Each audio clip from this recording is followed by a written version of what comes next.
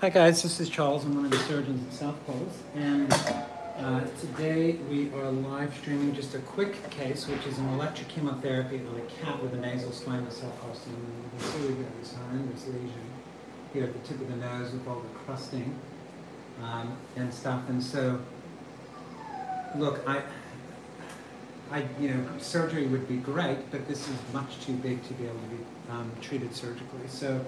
Um, electrochemotherapy offers a great option for these guys. Um, electrochemotherapy, I think, is probably more successful than surgery for the treatment of carcinoma in cats. So, um, anyway, can I get a gauze swab, please? So what we've done is we've given an intravenous dose of bleomycin. And bleomycin, because of the polarity of the molecule, cannot penetrate into the cancer cells. And so um, the, the stroma or the parenchyma of the cancer is bathed in bleomycin, but it can't penetrate into the cells. And so what we do is we shock the tumor um, with this little needle probe um, that, that delivers a dose of um, about 800 volts per centimeter. Um, and what that does is it causes electroporation, which means that the cells open up and allow the chemo to come in. And so you will see a twitch. It's not that you can feel it, but um, uh, but it does cause direct muscle stimulation. And so I put the needle into the tumor like this, and then I deliver the, the shock. And you can see that we did get a little bit of a twitch there. And I go all the way around the outside um, circumferentially first, and then um, I'll come into the middle of the tumor.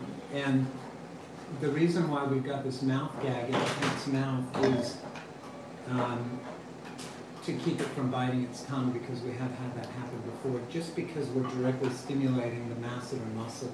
So coming around all the way around the outside here. So this is basically getting our surgical margin. Outside. And what will basically happen is that the tumor will just vaporize over the next uh, month or so. And we may have to repeat it in a month if it hasn't completely disappeared. And look, I would not be surprised if this treatment is not curative, um, but I have them, had them certainly improve significantly. If we had a smaller lesion, I would be more confident that it would be curative.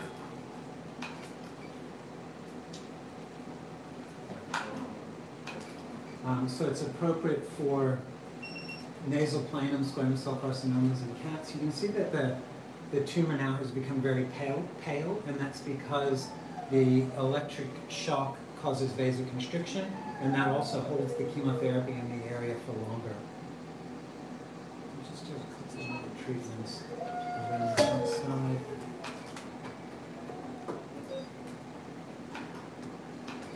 So electrochemotherapy is, is actually quite amazing. It's almost too good to be true, um, the way that it works.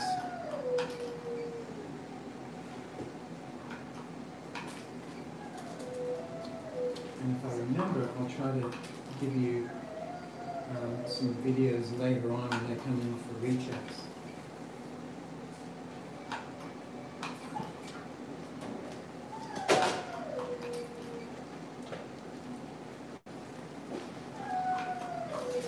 And that's pretty much it.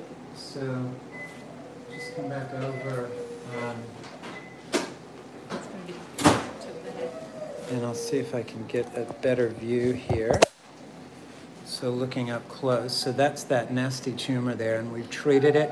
Um, hopefully that's going to disappear over the next few weeks. I'll come over here to the electrochemotherapy machine. This is it here, and if we look at those pulses, what it does is it delivers, so that's 500 volts, which is 800 volts per centimeter. So those uh, needles are about 5 eighths of a centimeter apart. Um, and it delivers these eight pulses within about 300 milliseconds. Um, and it does that every time you push that pedal. That's the that's what it's delivering. So, anyway, hope you find that interesting. If you have any questions, please uh, post them on the message board afterward. And um, thank you very much for watching. Make sure you subscribe to our channel and turn on notifications. And I'll figure out how I can